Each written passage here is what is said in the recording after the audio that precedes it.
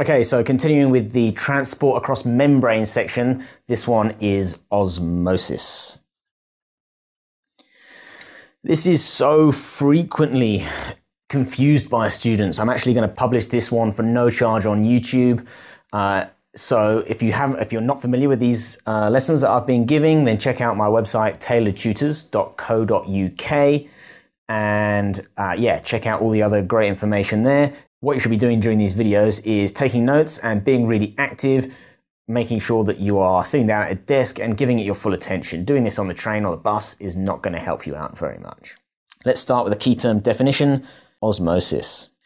Okay, so osmosis is the passive movement, so not requiring ATP, of water molecules from uh, high water potential to an area of low water potential, and it's across a partially permeable membrane.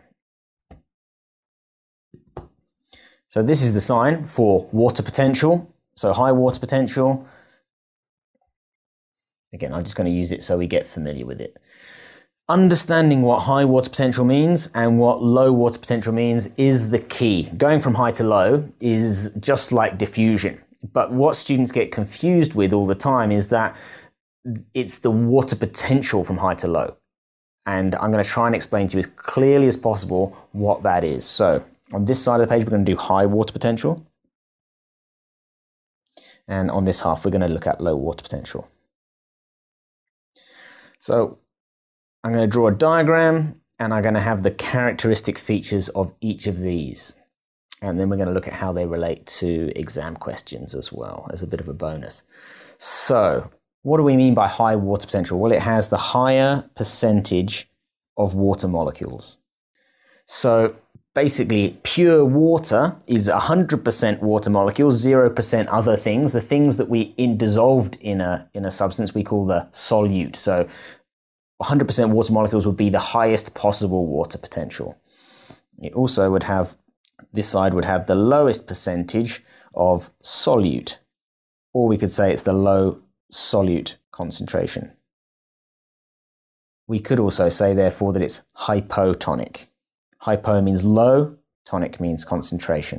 So we can look at the opposites of this for water potential, uh, low water potential. It's going to have, obviously, the lower percentage of water molecules. It's going to have a higher percentage of solute, or it's going to have the higher solute concentration. And we could describe it as hypertonic or more concentrated. So the diagram is going to go here in the middle. So this should be across a partially permeable membrane. So this is me drawing my partially permeable membrane like a surface cell membrane. So high water potential has got a low percentage of solute. So the solute in this example, I'm going to do a molecule of glucose, which is a hexose sugar. I'm going to draw it as a hexagon. I'm going to draw it quite big too big to fit through the gaps. On this side, we're going to have a high concentration of solute. Okay, we can now see that there's more uh, solute here, less solute here. I'm not going to draw every single water molecule touching each other as they would be in a liquid, but I'm going to draw them equally spaced as much as I can. So let's just every sort of centimeter or so draw a water molecule. Okay, without packing them in too much, roughly one a centimeter. And let's just do the same over here, because water is going to fill all the available space that it can that's not occupied by the solute. Maybe one in there. Okay, so we've got the high percentage or the, the highest, as a percentage, this is mostly water. As a percentage, this is a lower percentage of water. So again, this is we're going from, from high to low. But if you look at this without thinking about it, you think, oh, I can see these things. These are the big shiny red things. There's more here and there's less here. And students make the mistake of thinking, oh, draw an arrow which way water moves. It goes from high concentration to low concentration. Well, that's not right because you're, you're doing high concentration of solute to low concentration of solute. Water goes in the opposite way to try and dilute this, the strongest mix. So water will actually move in this direction, the net movement. So remember, water potential is opposite to the solute concentration. This is the thing that most students get wrong all of the time. And how do they tend to ask in these exam, exam questions?